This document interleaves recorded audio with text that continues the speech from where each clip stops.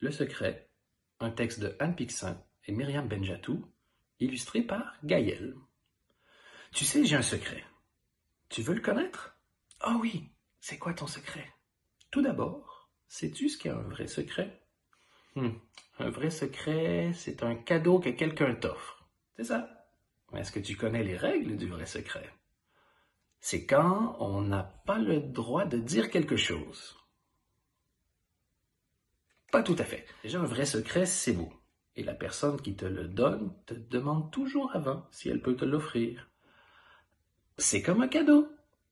C'est ça. Et donc, on n'a jamais le droit de t'imposer un vrai secret.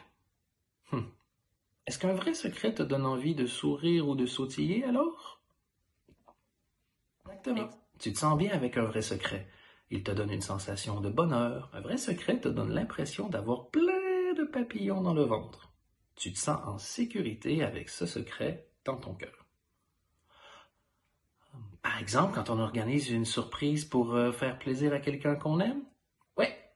Et quand on a notre petit jardin secret qu'on veut garder pour soi. Et ce petit jardin secret, parfois, on peut avoir envie de le partager. Et quand on reçoit un vrai secret, on peut le confier à personne. On doit le garder pour soi. Ça, c'est le serment du secret. Et tous les secrets sont des vrais secrets? Non. Parfois, certains secrets ne sont pas de vrais secrets. Hum. Comment je peux savoir si c'est un vrai ou un faux secret alors? Quand un secret te fait mal, quand il te fait pleurer, que le secret te fait sentir minuscule ou sale, alors c'est pas un vrai secret. Et puis parfois, certaines personnes essaient de te faire croire que c'est un vrai secret alors que c'est faux. Quand tu as un faux secret, tu peux en parler à un ou une adulte en qui tu as confiance. Ton instinct, tes parents, ton parrain, ta marraine, des membres de ta famille. Et dans ce cas, tu ne brises pas le serment du secret puisque ce n'est pas un vrai secret. Hum. Mais comment je peux savoir avec certitude que c'est un vrai ou un faux secret? Fais-toi confiance. Écoute ta petite voix intérieure. Ce que ton cœur te chuchote est toujours juste.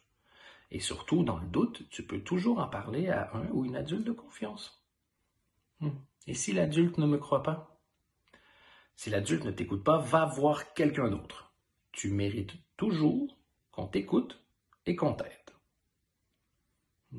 Que se passe-t-il si je garde ce faux secret pour moi? Ça continuera probablement à te faire du mal.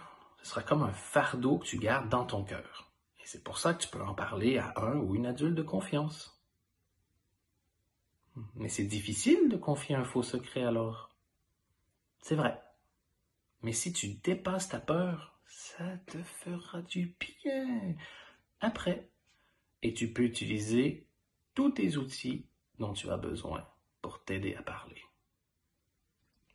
Maintenant que tu connais les règles du secret, tu veux connaître mon secret à moi?